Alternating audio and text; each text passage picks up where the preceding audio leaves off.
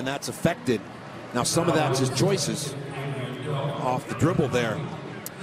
And you know, calls like that can go either way. just It just depends.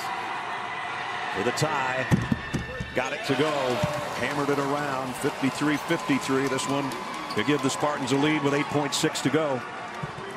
Now, if he makes this, look for App State to try to get the ball up the floor and call timeout right as they pass half court. If he makes makes the shot, make or miss.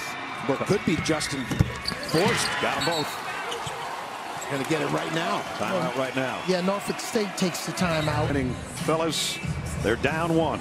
Their hot hand has been Justin Forrest in this half, and if you said, defensively you want to deny him, right?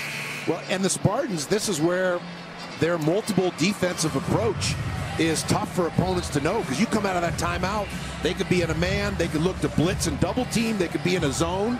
And so you've got to be prepared to play concept basketball. It's less about drawing up a play. Well, and the first thing is you got to have your best inbounder inbounding this basketball. Because it, whatever play you've drawn up is not going to work. And you see Almonacy taking the ball out.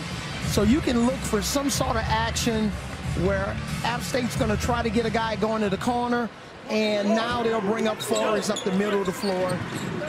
Almonacy in a little trouble getting it in. Got it into Gregory. Back to Almonacy. Three. Off the mark. Forrest at the buzzer. No good. Norfolk State survives after a huge lead that they saw slip away.